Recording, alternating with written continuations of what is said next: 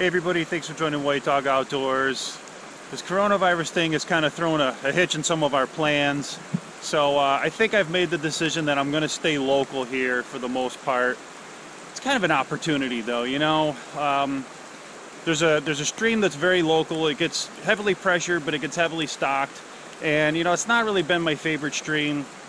Um, only because it's such a put and take stream and all the fish that they put in are usually gone pretty quickly. But uh, you know, on streams like this, I think if you get away from the main access points, if you go exploring, you know, you can find some really nice fish that have held over for a couple years. And that's my goal today. I really, first of all, I wanted to get out of the house. Going a little stir crazy, but I uh, wanted to get out of the house, hit a stream. This one's very local. And uh, my goal today really is to explore and to find water today.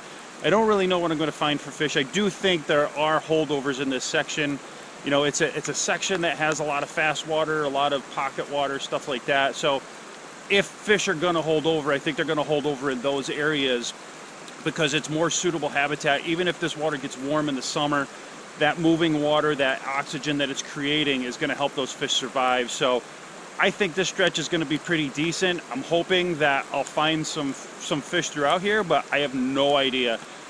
This water is a little bit up. Um, it's not bad. I thought it was going to be a lot worse than this. Um, we've had rain for the last 24 hours here, but um, I'm basically, I'm going to be out nymphing to, for the most part today. I might throw a streamer a little bit.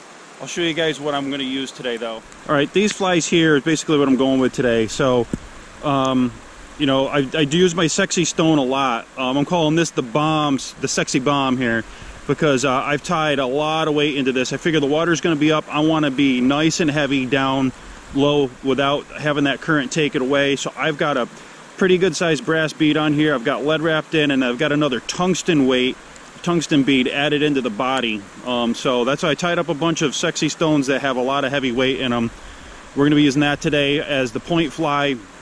And then I thought this water was going to be a little more off color. So um, I don't usually use a squirmy worm but I had a buddy that tied a few up for me, so I thought I'd need something that was going to be seen today. So on the uh, dropper up above, I do have a, a squirmy worm in pink. So, all right, this is our setup today. Let's get fishing. I feel pretty confident with this kind of fishing that if there's something in here, man, I'm going to get bet. Like I just have so high a confidence level with this kind of fishing, especially on this river with these flies. I just feel like if there's anything there, I'm getting bet. We need to move upstream a little bit, fish our next set of seams. But this is the, exactly the kind of hole that I would expect. Look how dark that is right there. This is exactly the kind of hole where I would expect to find a holdover fish.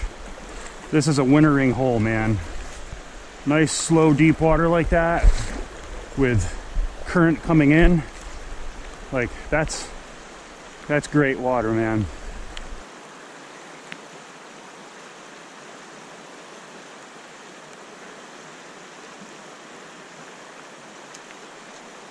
There we go fish. I didn't even feel him I don't know how long he had it in his mouth That was exactly where I thought he would be though. This is not a huge fish, but I will certainly take it. He looks like he's maybe 12 inches. I think it's a brownie. No, it's a bow. Is it? Looks like a brownie, but it's silvery like a bow.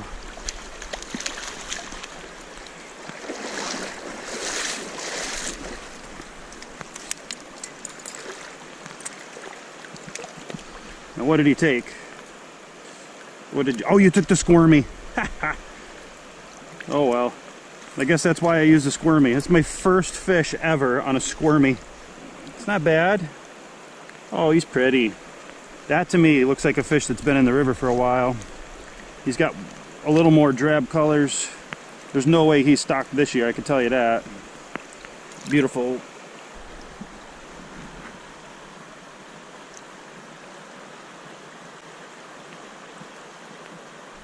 all right, I'm happy. I found a holdover brownie. Uh, totally what I was hoping to find today. I'm just saying that this is the perfect hole to find a fish like this. So uh, it looks like I got significant fast water up ahead. So I might spend a little more time on this hole, see if I can find a few holdovers here. But totally excited. This is exactly what I was hoping for today. That fish hit. It wasn't in the shallow, fast-moving stuff. It was right in the in the deep stuff where it really slowed down. And I didn't even feel him hit at all.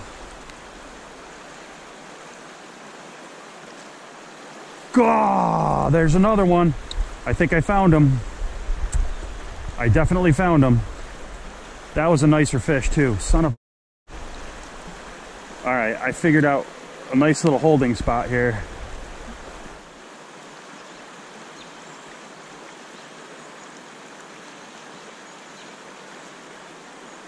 There's one.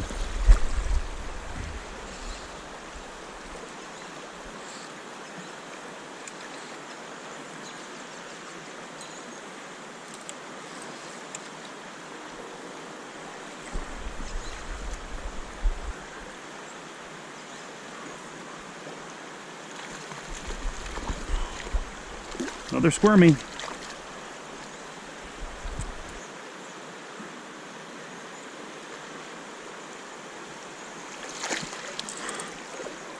Pretty one. That one's bigger, slightly. What do we got here? Let's see you, buddy. What are we gonna put you at? We'll put you at six here. Oh yeah, you're 14. 14 incher. I'll take that. Yeah, baby. Look at that beautiful fish. That's a chunk. That is a chunk.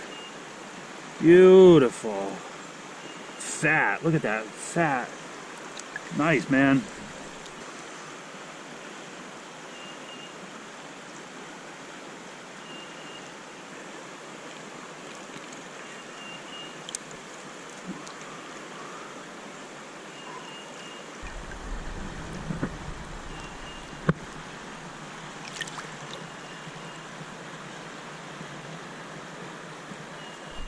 Fish number three, I missed, uh, it's actually fish number two landed, but it's the third fish I've had.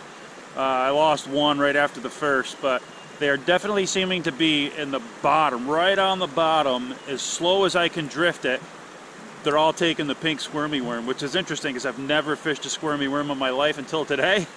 Um, but I know that black stones and squirmy worms work really well here, so really happy, man. I'm, I'm, I found one hole that I've connected with three fish, and uh, I got a lot more to explore. I see another bend up there that looks maybe similar. We'll see what happens, but this is awesome. This is about as best as I could have expected today.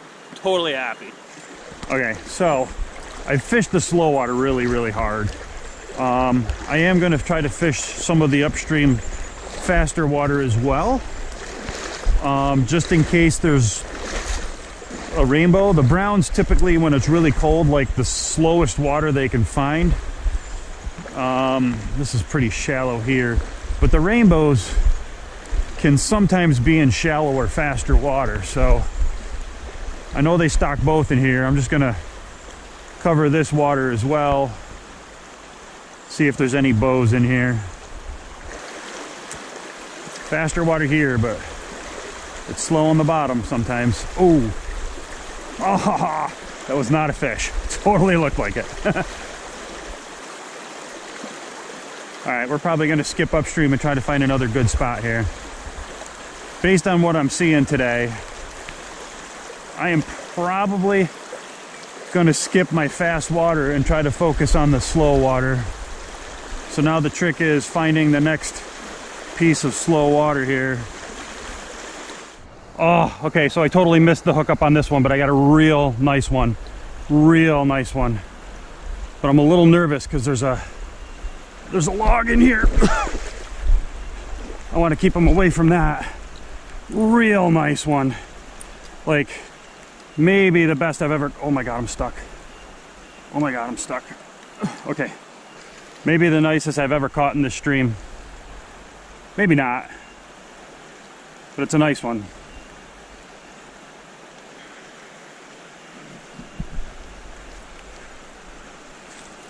So silvery here. It's so funny.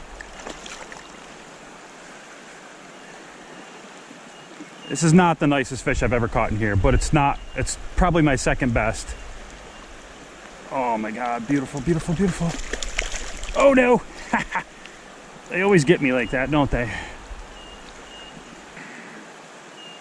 They are not hitting that stonefly at all. It's always on the squirmy. And I just broke off my last real squirmy. I put this guy on. Uh, you know what? He's a little bit better than the last one, but not a ton.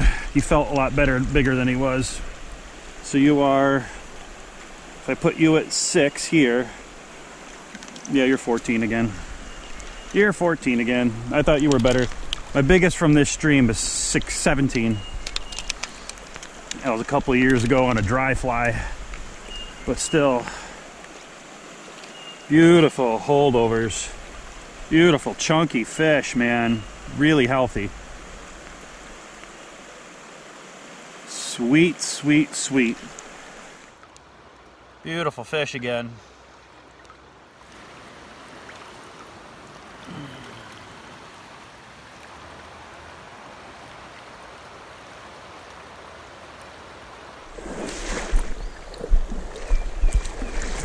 This is an interesting run, really. I wouldn't even call it a pool because it's moving so fast right now but it's shallow over here. It's definitely deeper over there. I bet you when the water's not so high, this whole area has got to be really, really good. Um, right now, I think I need to find the slowest water, which may be up there. By the time I'm getting down here, it seems like the water's moving kind of fast. So anyway, I'm just picking this water apart, see if I can figure out where they are. There's fish in here. There's got to be. Got to be.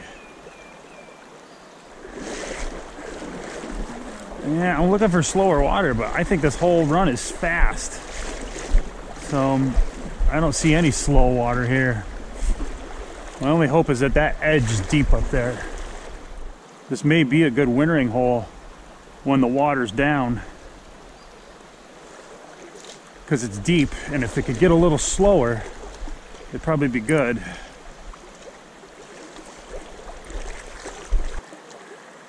It's just fast so fast. Oh. Oh. All right, so what I'm doing here is to try and get it down a little bit better.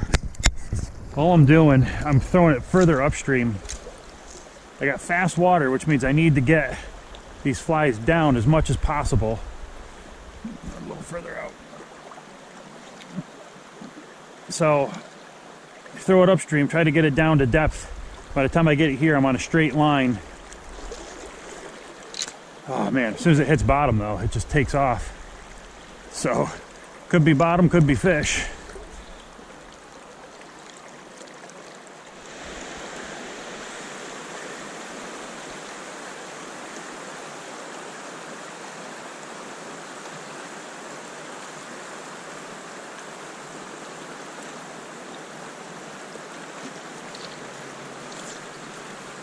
Whoa.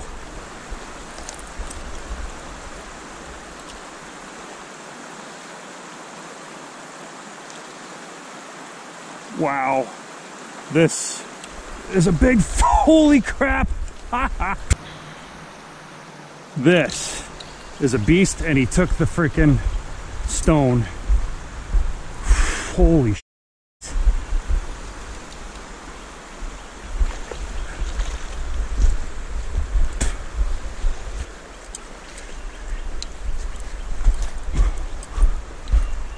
This is the kind of fish I needed a bigger net for. this is probably my best for this river. Holy shnikes.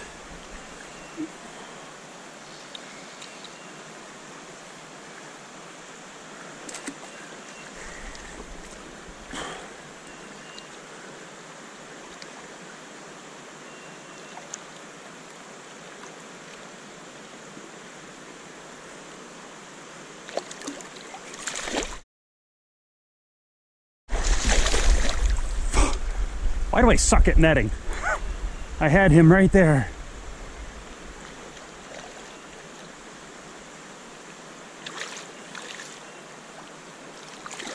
Wow. Holy crap, dude. Holy crap. This is why this is definitely my biggest from this stream by far. Not just lengthwise, but like size wise. This is a beast. Beast mode. All right, settle down. I want to see how big you are. Wow, beautiful fish, man. This makes you wonder is this really a holdover? Oh, you're you got some. All right, so let's see. I'm gonna put you at 10. You're too big for this net. So that's 10. Yeah, we're like an 18 incher. 17 and a half. All right, baby. You ready? Wow. Look at that. Beautiful big brown. There you go, buddy. There you go. Kick off hard. Woo. Yeah. Now that is what I was hoping for today. Get away from those main areas, and this river's really, really healthy. I don't think that many people really think that, but you get away from the main areas and you get fish that people don't catch and keep all the time, and you can really get some really big fish, man. I would love to see a stretch of this become a catch and release only because um, it actually is a really healthy river. The bug life in here is phenomenal. There's like tons of black stoneflies, which is what that guy just took. He took a sexy bomb, which is the basically the black sexy floss uh, stonefly, but really, really heavy to get down. And boy, I got him right down deep in the head of this pool, and bam! Holy crap! But that just goes to show you what kind of fish you can get if it's not overfished and if people will release these fish. I never used to have a lot of respect for this particular stream, and I am holding it in a completely different light now. That is the fifth I think I've landed. The smallest has been 12. Other than that, they've been 14, 14 and a half. That guy was a 17, probably 17 and a half inch. Thick, thick, healthy brown. That was a really healthy fish. I could not be any freaking happier than I am right now, and I got more river to explore, so let's freaking go.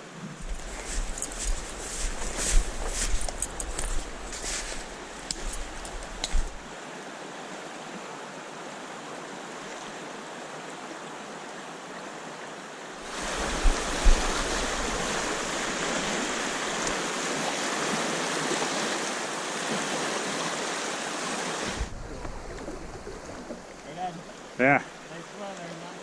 Yeah, right I think I'm going to call it quits here. I've covered a lot of water, pretty tired. Um, but uh, I found today that all the fish were really in that slowest water possible. There was nothing in any of the pocket water or faster runs. Everything was in the slowest possible water right along the bottom. So I had to urinate really deep. I used those sexy bombs, really heavy to get down. Um, I ended up five for six today. I'm not sure I got them all on camera. I think I had a couple camera issues, but um, Anyway, what a phenomenal day. Smallest fish was 12 inches, most of them were 14 inches, and I had the killer 17, 17 and a half inch fat brown today. So definitely the best for me from this particular stream. The next video that we're going to do is going to be a throwback video. It's uh, an Adirondack brook trout video that we did a couple years ago, and I just never kind of put it together. But you guys said you wanted to see the small stream wild trout. Well, it doesn't get much better than this next one. So stay tuned for it. It'll be coming up in the coming weeks here, and uh, Anyway, thanks for joining us. If you guys like what we're doing, definitely subscribe, and we'll see you soon for our next adventure.